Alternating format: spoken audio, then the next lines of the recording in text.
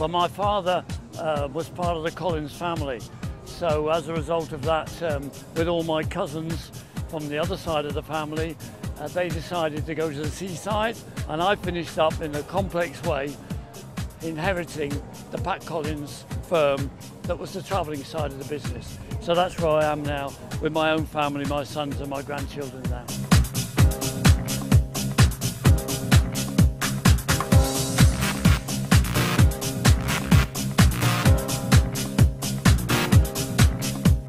Today, this afternoon, you're seeing we're really catering for the young people with the food stalls, the children rides, and all the features that spread across the family.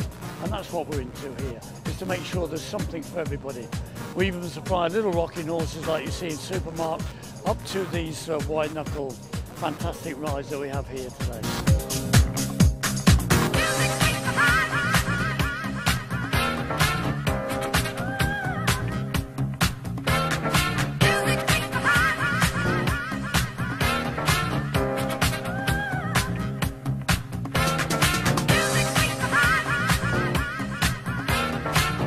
Cycle. There's not a cycle with the old faithful cycle, the Dodgems and the Waltzers. Have new cars refurbished, they go on indefinitely. But the, as you've seen, we've got the Mark II Booster out there, which is the, the largest, fastest ride in Britain, in fact in Europe when it's going round. It terrifies me looking at it.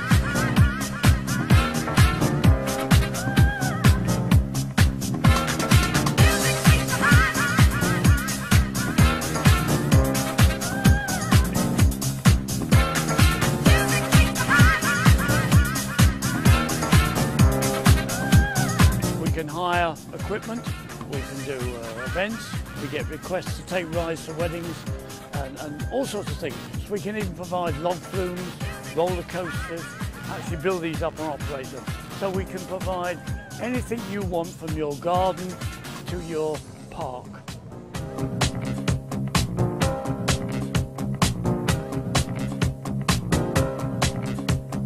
the whole business relies on family continuity and that's where we are.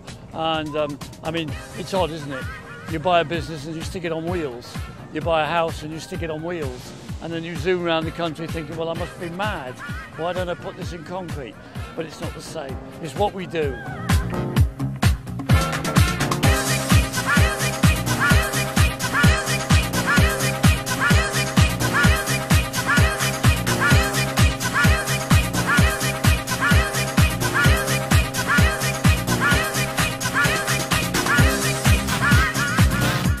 provide fun fairs, 30 odd a year, and events throughout from March through to, we even go to Edinburgh uh, for Hogmanay and take two rides up there. So it's a fascinating life. It's like any business, got its troubles, but when the sun's shining and there's plenty of people around, it couldn't be a better world.